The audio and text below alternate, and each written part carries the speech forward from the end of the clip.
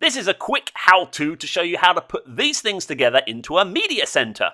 You're going to need a Raspberry Pi, you're going to need an SD card, 2 gigs and over, you're going to need a keyboard, this is a cheap one I got off the internet, this is also a Wi-Fi dongle optional and a case. And when you assemble it all together, you're going to get something that looks a little like this. Small enough to stick on the back of a television. So the first thing that you're going to do is download the software that you need to turn your Raspberry Pi into a media center.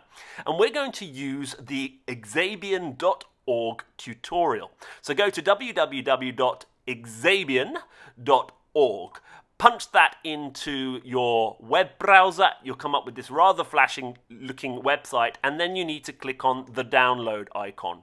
Now, there are a number of ways that you can install. There's uh, an image, there is a Linux version, there is a Windows version, and we're going to use the OSX version. Click here, download the zip file. I've placed it on my desktop.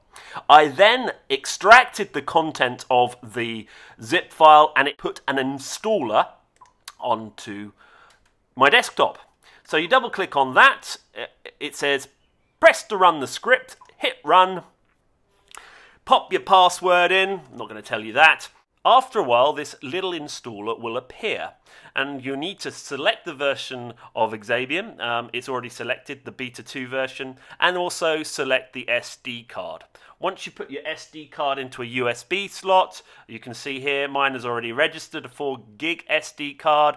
Make sure you've got the right one selected here, and boom, hit install, and yes, and it's going to run through the process now of putting the operating system onto that SD card. Now this is going to take a little bit of time. So after 10-15 minutes, depending on how fast your computer is, um, you'll get another little prompt saying, are you ready to install everything on that card will be destroyed.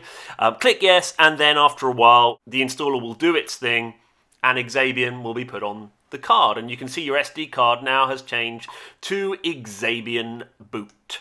So, the next thing to do is put it in the Raspberry Pi and see what happens. So this is the Raspberry Pi all connected up. Plug your power in and the thing will start to boot. Now you'll notice I've connected using a Ethernet cable here, but if you were to put the Wi-Fi dongle in, you'll have to configure that later. I wanted to go straight onto the internet, ready to download any updates that it may ask for. And as you can see, it's going to start up. It's not horrendously fast, but it's faster than perhaps some operating systems out there.